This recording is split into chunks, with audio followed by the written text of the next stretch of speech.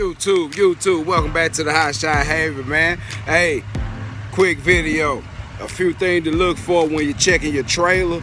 Just a few areas, not all of them. But yeah, what? Some things that can help you save some time, some money, and possibly an accident. Next on the Hot Shot Haven.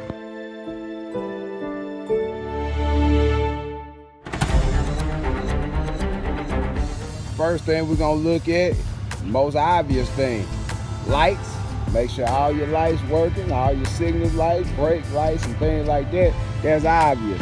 But the next thing, looking at the back of this trailer sitting on level ground, are both sides of the trailer pretty equal from the ground? That right there lets you have an indication of whether something is going on with the suspension. Now that's not the only indication. And we're gonna check a couple more areas that some may not check, but they need to be checked. All right. Equalizer. Right there. You notice that air gap, that little light you see at the top? If that light ever disappears on both sides at the same time, you have a problem. Your equalizer has split in the middle, the bushing has split, and it's on the way of breaking. You'll also notice that your trailer will sit a little bit lower on one side. That's one of the things that you gotta look for. Also, spring perches. Spring perches. You wanna look at the spring perches and see if the eye of the spring, the circular part of the spring, is centered with the bolt.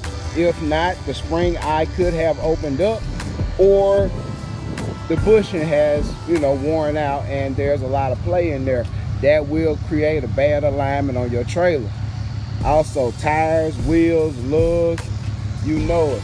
Also, let us not forget, you know, checking the inside of the tire, inside of the drum to see if you see any oil or grease coming out, give you an indication of a seal going bad.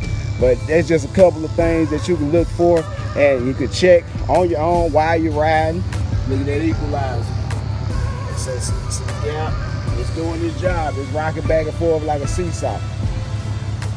Like I said, beyond that, lights, turn signal, bar if you have it, you know, all around the truck, license plate lights, all that.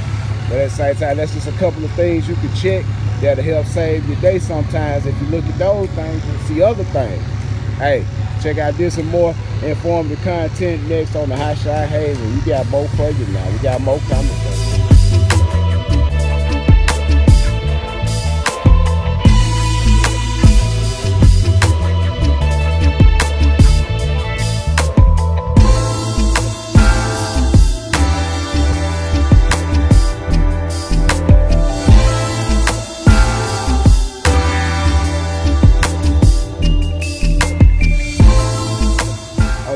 sneak preview, nighttime pickup.